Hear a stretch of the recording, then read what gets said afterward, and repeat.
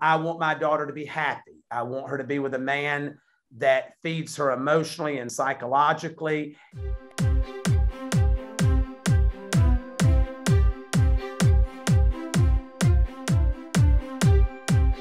Savannah doesn't deal with it at all. I mean, you know, we have raised a very strong, independent young woman, and Savannah has been brought up with, you know, someone else's opinion of you is not your business. Mm-hmm. So, what I am proud of is that Savannah and Nic have continued to navigate their way through life, mm-hmm. and whether they end up with each other or not, we don't know. Um, you know, I have my opinion, you have your opinion, and you know what they say about opinions.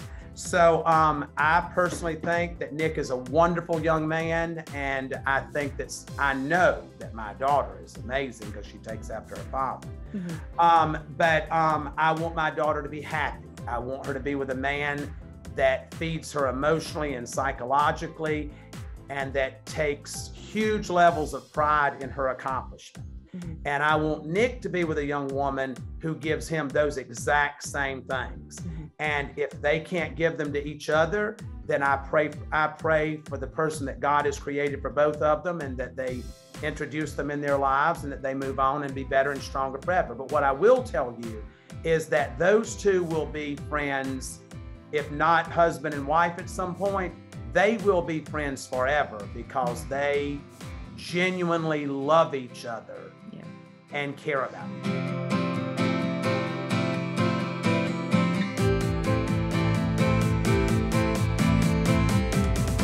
She has, and she has done a wonderful job, and it looks amazing. And you guys will see that in season two.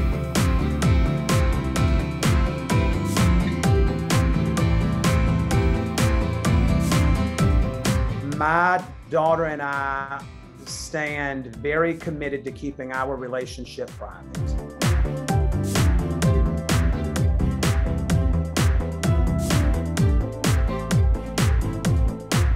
They lead a very private life and they're doing very well, and we're blessed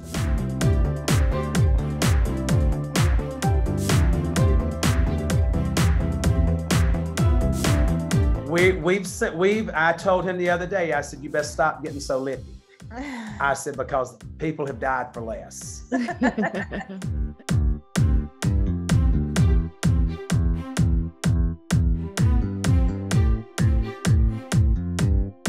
Chloe is amazing. She's one of the most gifted and bright children. We're so blessed to have her in our lives. She's very involved in her dance and she is just she is just the blessing that we never knew we needed or wanted.